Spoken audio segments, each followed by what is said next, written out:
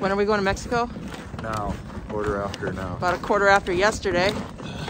Yeah. It's cold snap. I think today and tomorrow are the last days, and then we get hot. 40. Tomorrow starts getting better. Yeah, short lived.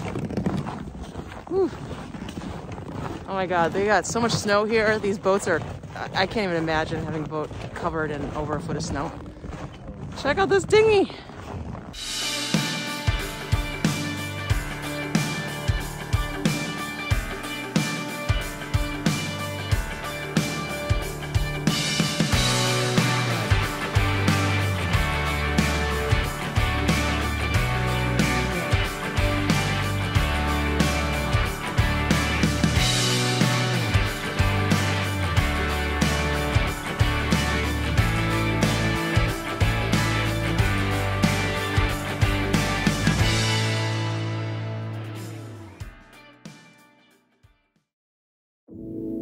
Time aboard Freedom, we arrived in Comox Harbor on Vancouver Island to wait out some unusually wintry weather hitting the west coast. After digging Freedom out of the snow, we braved the sub zero temperatures and ventured out to see what this small waterfront town has to offer. Apparently, a lot, including a frozen marina, so if you missed it, be sure to check it out. Now, after a quick 36 hour layover, we're cruising 60 nautical miles south into the Gulf Islands, where we'll be enjoying the final week of our six week adventure here in British Columbia.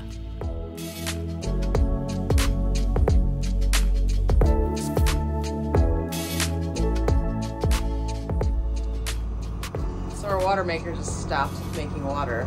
We're not sure why. Uh, when we woke up this morning and turned it on, we left the dock, it was making water. Now it's not. So it's a little scary. Hopefully it's just because it's cold. Maybe something in it froze. Not sure, but uh, most places have their waters turned off, and they're probably gonna be turned off for a week while it's below freezing. So this should be interesting.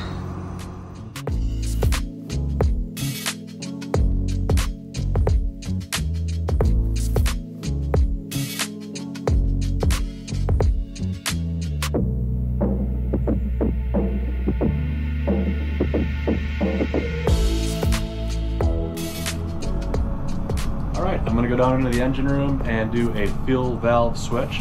Um, when we're underway, I try to get into the engine room every two to four hours. Uh, if it's a shorter trip, where the trip length may only be two or three hours, then what I do is I take the mileage and I divide it in half, and that's when I choose to go down into the engine room. So if it's a three-hour trip, I end up going down there at like the hour and a half mark.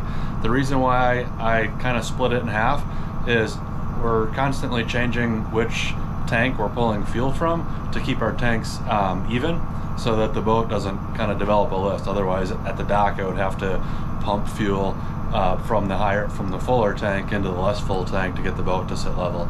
So it's easier just to, you know, try to always monitor engine run time and run equal amount of time on starboard, and then switch over and run equal amount of time on port. So I'll go down there, uh, change the fuel valves, um, and then just do a quick check, you know, make sure nothing's on fire, make sure there's no gross leaks. Um, but I'm not going to get crazy with checking temperatures and all those kinds of things. So let's go down there and change the fuel valves. Here we go. All right, it's quite loud in here, so I'm going to put my uh, ear protection on. All right, the ear protection's on. I'll turn the lights on. Always good to look through the window, make sure you're not walking into a fire or spraying oil or a problem. So everything looks clear. So we'll go ahead and open the door.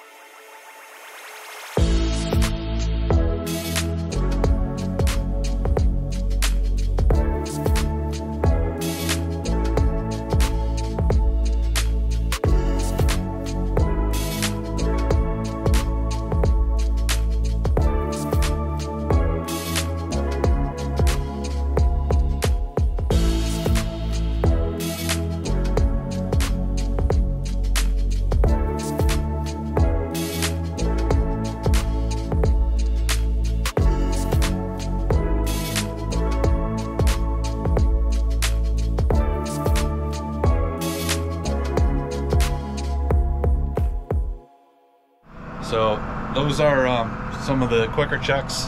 Uh, sometime we'll go into a more detailed check where we get out the temperature gun and, and check some different uh, temperature spots on the transmission and the engine. But looks good.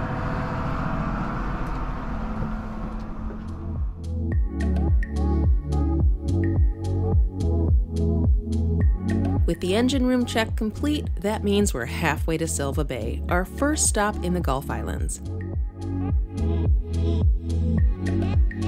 The remainder of our cruise brought some snow and some clearing so we could see all the way across the Strait of Georgia. The Gulf Islands are a group of islands situated between Vancouver Island and BC's mainland.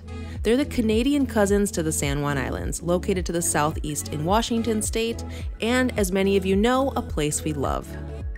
The first of the southern Gulf Islands when arriving from the north is Gabriola Island. It's home to Silva Bay, which is a protected and scenic destination sprinkled with tiny islands overlooking the Strait of Georgia.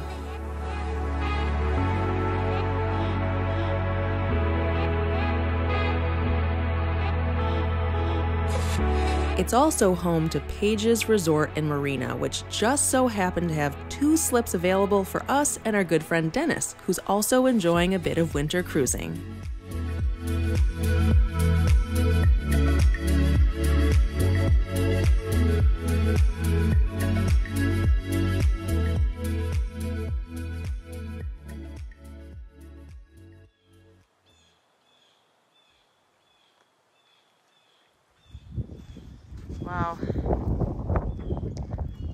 Out this snow here in Silva Bay. It is quite a bit. But what a perfect name! Powder snow. I wonder when they named that if they knew what they were going to get in the winters.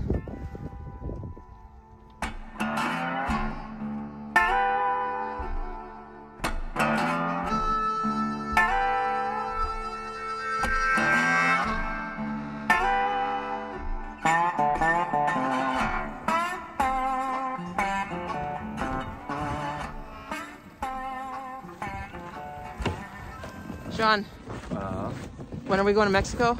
now. Quarter after now. About a quarter after yesterday. Yeah. It's cold snap. I think today and tomorrow are the last days, and then we get hot. 40. Tomorrow starts getting better. Yeah, short lived. Whew. Oh my god, they got so much snow here. These boats are, I I can't even imagine having a boat covered in over a foot of snow. Check out this dinghy. Oh, you poor thing. Oh, goodness. That's gotta suck. Imagine if that was your only mode of transportation.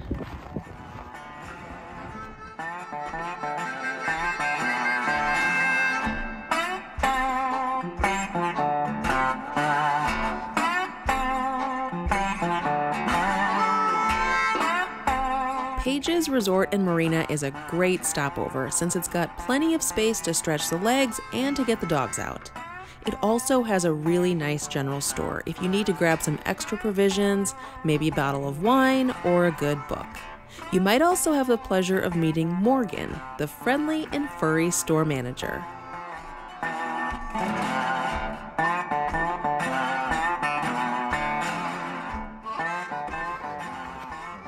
Yes, the snowfall report. Reporting live from Silva Bay. How much snow? Only seven. Only seven inches. What about over here? I feel like this is more. There's been some melting. oh, your feet are cold? Well, it's official. Seven inches.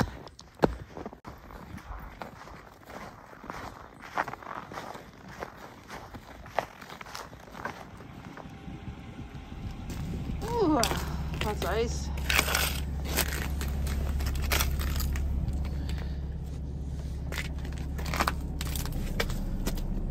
Ooh, got some murder weapons here. Oh my gosh.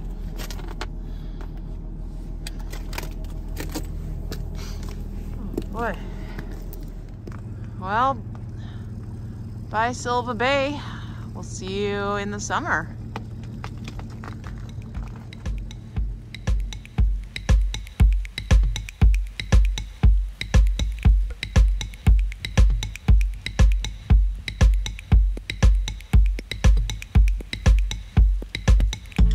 Our next stop is Ganges on Salt Spring Island, one of the most popular and well known destinations here in the Gulf Islands. Our route took us through a narrow passage with a lot of current that definitely put our stabilizers to work. Hopefully, Dennis didn't mind the short lived turbulence.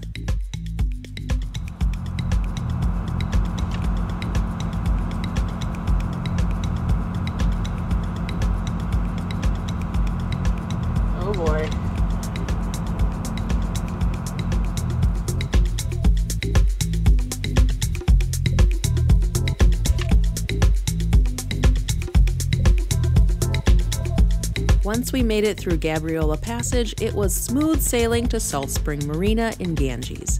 Sadly, our buddy boat has to head back to Seattle. Safe travels, Dennis!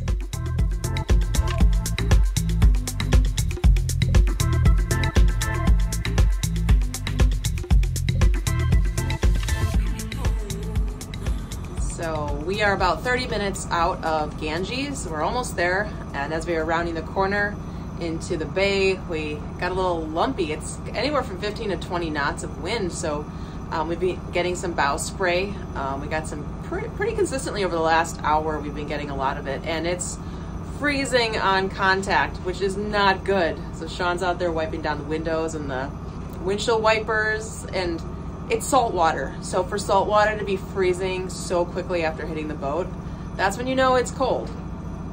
Um, we're supposed to be getting some kind of a bomb cyclone over the next few days, uh, pretty much from the west coast all the way to the east coast of the U.S. Um, or North America rather, since we're getting it up here in Canada. Um, last year, same time, same thing, some kind of a cyclone over the Pacific that smacked us in the face and it looks like it's happening again this year. Boating December 15th to like January 15th, even into February lately, has been uh, kind of rough. So you never know what you're going to get. Uh, some years it's not bad. Last couple years it's been bad. Um, so it's going to be uh, an adventurous, sporty couple days.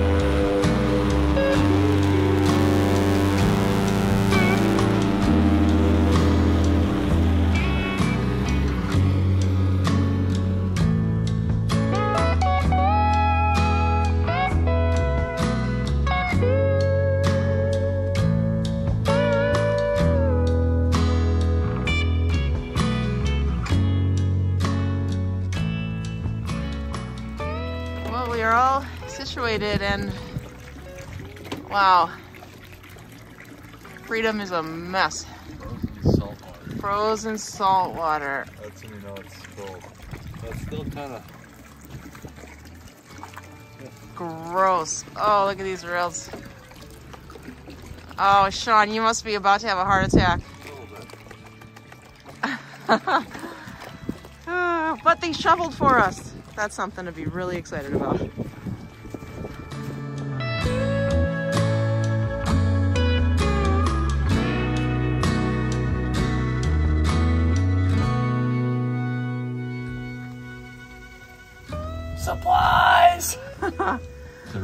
Raining or? I don't even know anymore. Sounds weird. Yeah, it's like like sleeting now. Like the click, click, click, click, click, click, click. Yeah. Great. Beautiful. God, can you imagine being out at anchor Beautiful. and just like knowing your boat is covered in a foot of snow and now ice? Is much different than being at a dock? Yeah, like it's just harder to get to. Oh, yeah. Yeah. So, uh, what's the dealio on the water maker, Shawners? I don't know. Haven't really looked into it. Yeah. Do you have faith that it can be fixed on this trip, or do we have to get home and get a part? Get the mm, pump. I don't know. I should look for a part at least. Is there a boat store nearby? Did you look on the map? No, they wouldn't have what we need. Oh. I'll go look for a part. But that means we still have to get back to collect it, right? We would still have to be back home. If we had to order one, Yeah. Yeah. Yeah. So we our, got plenty of water though. our time is limited, is what you're telling me. We've got like probably at least 250 gallons left. The way you shower and wash dishes, uh, paper plates. You're the one we gotta be worried about. No, I shower every other day. I know, Martha, that's disgusting. Okay. This is the calm after the storm. It's actually really nice out. It's like warm. And uh, we're gonna walk into town and get some fixins for our Christmas opera hour. Gonna have a little appetizers, a little mini feast, and hopefully this is the end of the snow. I think the next foreseeable future is gonna be in the 40s, and this stuff can all melt, and we can go back to normal boating, which would be nice.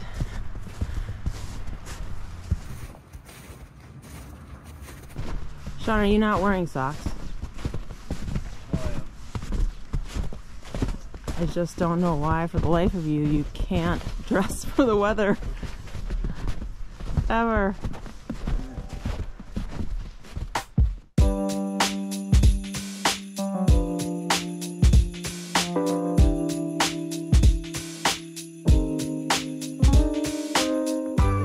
Welcome to Ganges, a long harbor filled with a lot of goodies. This popular boating destination is home to a large anchorage, several marinas, a seaplane terminal if you're not arriving by boat, and a small waterfront town with a friendly and artsy vibe. Here you'll find shops, cafes, bakeries, restaurants, a hardware store, and nice grocery stores. That came in very handy for us as we stocked up for our Christmas extravaganza.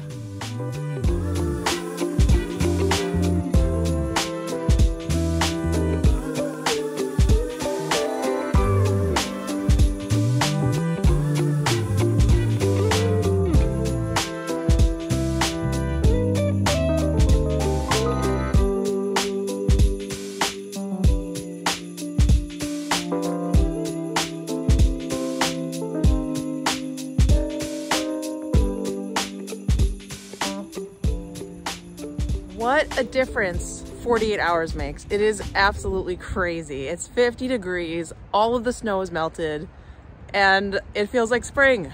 It's crazy how the weather is like completely hot and cold here. But I'm not complaining. It's a perfect day to move on to our next destination. Summer's in the air. Oh yeah. I know, Martha. It's very exciting. Can you feel that warmth? Yeah. No heat running. No heat, natural heat. Love it.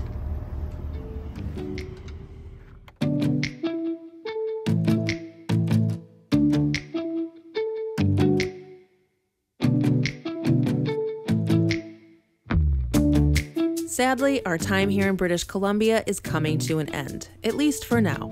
The past six weeks in this incredible part of the world have been the best, and we're not at all ready to leave.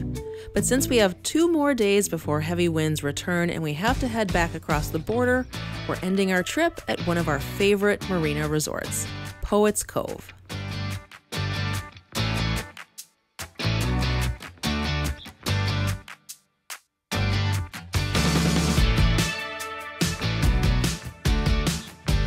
Located on the southern tip of Pender Island, Poets Cove was our very first experience in Canada when we moved to Seattle nearly nine years ago. It's convenient because it's a customs check in point, but it's also a luxurious marina resort with a lot to explore.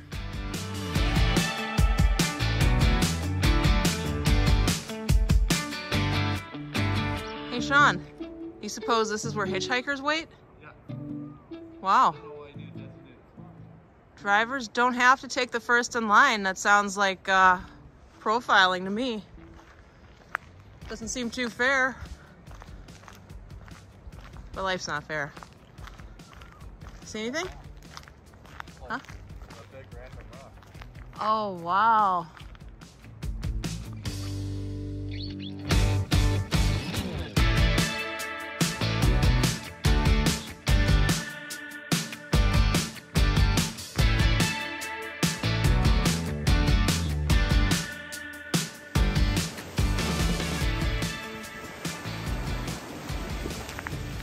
That wood that was ready to be swept off the beach Yeah. and put right into freedom's path? Good time to be a beachcomber. I know. That's what we should start doing. Harnessing the logs, tying them up, selling them. I know.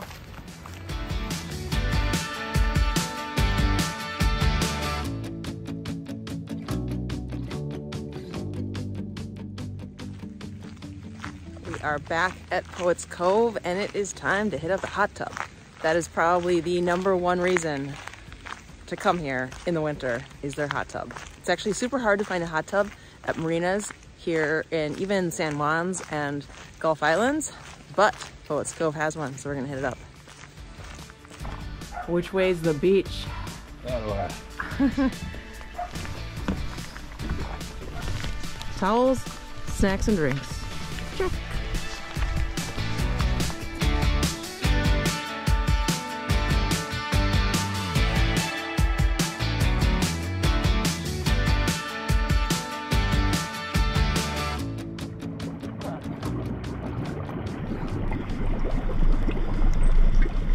Winter boating doesn't have to suck after all.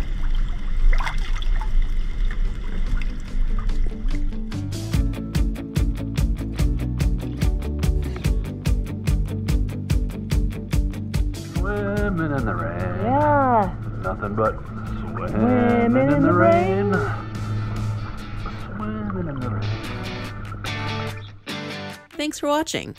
If you enjoyed seeing some highlights from our time in this Gulf Island paradise, be sure to give this video a thumbs up, become a subscriber if you haven't already, and hit that teeny tiny little notification bell so you won't miss next time when we find out just how hard it actually is to get back into the US of A before taking the plunge into a new year. We'll see you next time.